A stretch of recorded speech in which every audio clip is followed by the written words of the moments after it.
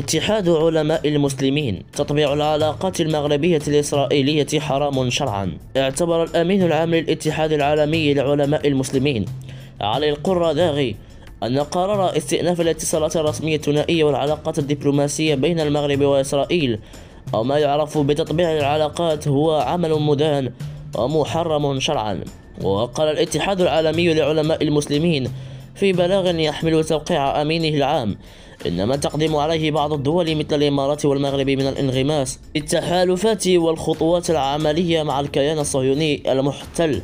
عمل مدان ومحرم شرعا وخيانة للعهد العمري والصلاحي ولحقوق الشعب الفلسطيني. وأكد الاتحاد العالمي لعلماء المسلمين أنه قد أصدر سابقا عدة بيانات لإدانة التطبيع مع المحتلين لقدسنا.